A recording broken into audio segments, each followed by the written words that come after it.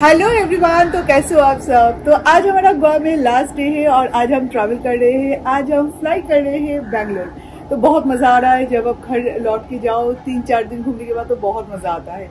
तो आज मैं आपके साथ शेयर करूँगी कि ट्रैवलिंग के टाइम में मैं पूरे दिन क्या खाती हूँ, क्या पीती हूँ। जैसे कि अभी मैं होटल में हूँ यहाँ का ब्रेकफास्ट कॉम्प्लीमेंटरी है। मैं नॉर्मली कोशिश करती हूँ कि जब भी मैं ट्रैवल करूँ ना तो पोर्शन ज़्यादा ना लूँ। जितना भी अच्छा खाना हो मेरे सामने। पर थोड़ा सा ज़्यादा लिक्विड इंटेक करने की कोशिश करती हूँ एंड बार बार खाने की कोशिश करती हूँ ताकि प्रेशर ना आए। तो इस बात की ध्यान हमेशा मैं रखती हूँ क्योंकि वो चीज़ मुझे मतलब पब्लिक टॉयलेट मुझे यूज़ करना इतना पसंद नहीं है तो बस इसलिए। तो चलिए ब्रेकफास्ट से शुरू करते हैं आज हमारा खाना। तो ये है मेरा आज का ब्रेकफास्ट यहाँ पे है मिक्स वेज विथ क्रीम जब भी हम उसका ऑप्शन रहता है तो मैं इसे ज़रूर लेती हूँ थोड़ा सा सैलड और ये स्वीट कॉर्न और mushroom sauté and one glass of pine juice और लास्ट में मैं कॉफ़ी लूँगी।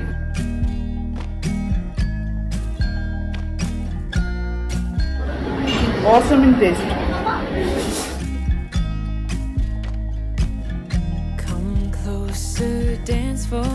तो अभी हम लोग हैं एयरपोर्ट में और आर्यन जब भी केफ देखता है तो एकदम टूट पड़ता है तो उसमें से दो चिकन पॉपकॉर्न मैं ले रही हूँ।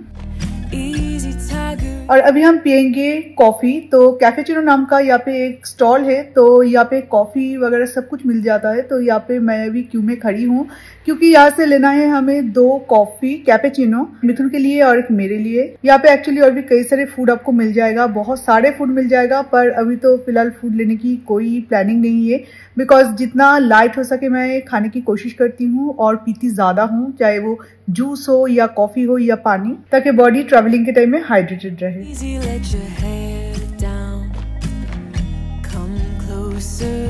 तो फ़्लाइट में हमें प्रोवाइड किया गया है यहाँ पे राजमा और साथ में है पुलाव, जो कि बहुत ही बेकार है, इसका टेस्ट और बिल्कुल भी खाया नहीं जा रहा है, पर भूख भी काफ़ी लगा है तो इसलिए कुछ तो खाना पड़ेगा। तो दो एक स्पून मैं यहाँ पे लूँगी और बाकी मैं नहीं खा सकती I am sorry food waste नहीं करना चाहिए, पर ये अगर मैं खाऊँगी ना तो मेरा तबीयत खराब हो जाएगा, मुझे वॉमिटिंग फीलिंग्स आएगा। इतना बेकार है इसका टेस्ट पर इसके साथ जो कुकीज दिया गया है, ये लगभग ठीक ठाक है। तो इनमें से एक मैं खा लूँगी और एक आर्यन को दे दूँगी, और एक जूस भी मिला है रियल का जूस ऑरेंज जूस है तो थोड़ा जूस पीने से हो सकता है कि थोड़ा सा अच्छा लगे बिकॉज़ यहाँ पे आप खरीद भी नहीं सकते खाना। जो मिलेगा, वही आपको खाना पड़ेगा।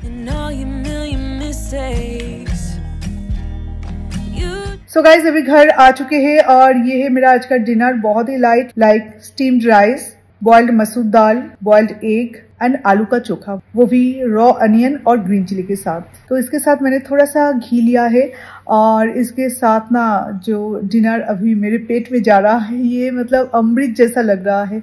और मुझे लगता है कि इस टाइम के लिए ये मेरे लिए सबसे बेस्ट है और जब भी हम लोग ट्रैवल करके घर आते हैं तो फ़र्स्ट जो मिल होता है, वो हम ऐसे ही थोड़ा लाइट लेते हैं। क्योंकि ट्रैवलिंग के टाइम में चाहे आप एक घंटे का, दो घंटे का करो ट्रैवलिंग या कार में, या ट्रेन में, या तो फ़्लाइट में।